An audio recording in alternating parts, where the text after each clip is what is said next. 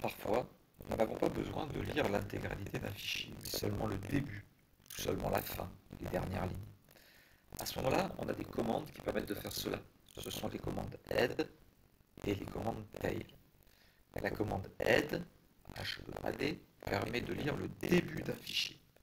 Si je reprends le même fichier, je vais faire add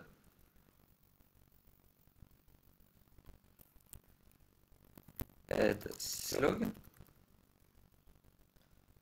Ça va me donner, alors je vais peut-être effacer parce qu'on ne voit pas, add syslog.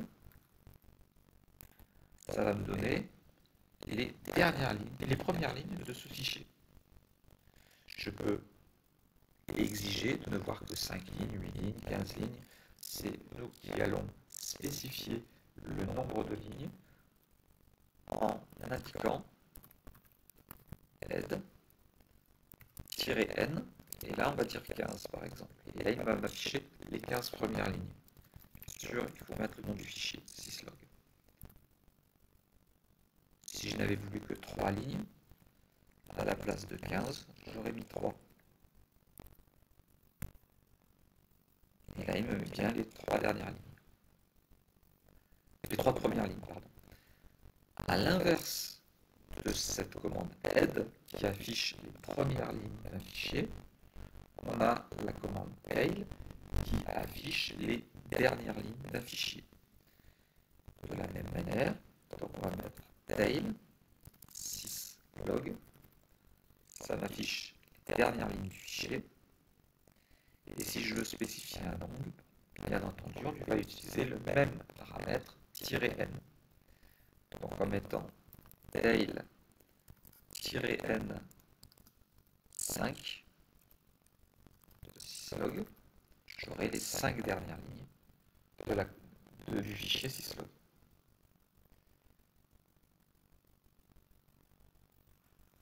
Comme il s'agit là des dernières lignes du fichier, quelquefois on a des fichiers qui évoluent dans le temps. Et donc si on veut faire apparaître ces lignes au fur et à mesure, avec la commande tail, on a un paramètre qui s'appelle "-f" et qui permet de suivre les évolutions du fichier.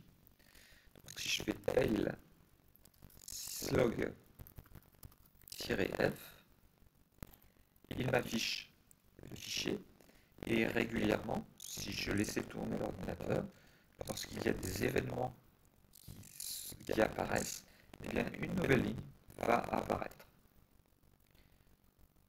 A rarement besoin d'utiliser cela, mais bon, ça peut, ça peut arriver. On peut aussi faire un rafraîchissement tous les X secondes. À ce moment-là, on fera, pour sortir de ça, c'est CTRL-C. On fera tail syslog. Je vais rajouter le "-f avec "-s 3. Ça, ça veut donc dire de faire un rafraîchissement toutes les 3 secondes.